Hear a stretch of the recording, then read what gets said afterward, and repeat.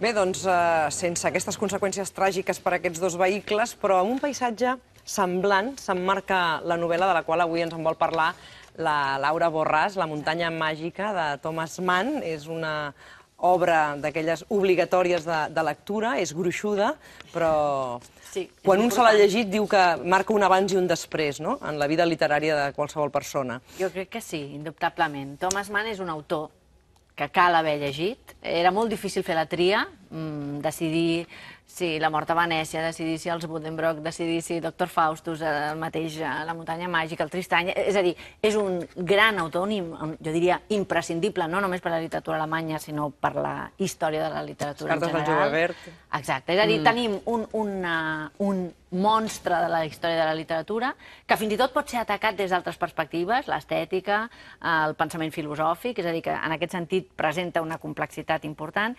I aleshores, mm, mm, la tria de la muntanya màgica, que ha estat considerada una de les seves eh, millors novel·les, um, va venir donat perquè és gairebé com una enciclopèdia. Eh? És a dir, el, el, la muntanya màgica té un, un origen autobiogràfic, podríem dir. La seva esposa va estar internada en un sanatori.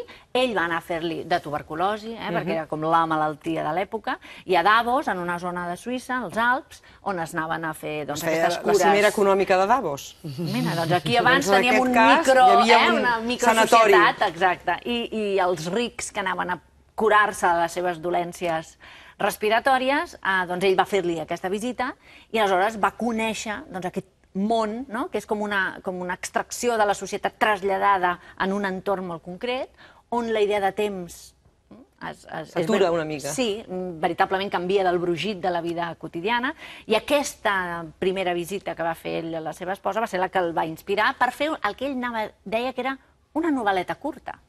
si, es, de- si es descuida, canvia el concepte de novel·leta curta. Ell va començar amb aquesta idea, la va començar a escriure i entremig passen moltes coses, entre les quals la guerra. La Primera Guerra Mundial i el canvi que això va representar vitalment, de pensament, eh, de, de, de Thomas Mann, que va fer un canvi ideològic també important, i aquesta novel·leta curta es va anar allargassant i allargassant i allargassant, fins a, a, a fer-nos aquesta mena de novel·la d'iniciació d'un jove, Hans Castorp, que és mm, orfe de pare i de mare, i que és doctor enginyer i que va fer una visita a un seu cosí que està allà des de fa sis mesos. I és curiós el, la transformació que pateix Hans Castorp, que ve del món, eh? ell vol dedicar-se, vol, mm, és a dir, ha estudiat, eh? és una persona preparada, i arriba amb la idea de dir, eh, eh, jo estic sa, i aquí tots esteu eh, Malalts. com malalts, jo vinc de visita. Però ràpidament el metge que li presenten només arribar diu ah, observo alguns símptomes com d'anèmia, alguns problemes, i, i ell es vol, mar vol marcar la diferència. No, jo vinc de visita, vinc per tres setmanes, qui pot estar-se més temps aquí? Qui pot permetre's el luxe d'estar més temps? I aquestes tres setmanes es converteixen en set anys. Set anys en el decurs dels quals ell aprèn a viure, diríem, que també vol dir aprendre a morir, perquè estem en un sanatori on l'habitació que ell ocupa l'ha desocupat i no precisament Un amb una, uh, perquè s'hagi curat, sinó que ha mort la persona que l'ocupava. És a dir, la malaltia et fa viure aquest, aquestes dues cares de la vida, però també et confronta, lògicament, cap a la possibilitat de la mort. No?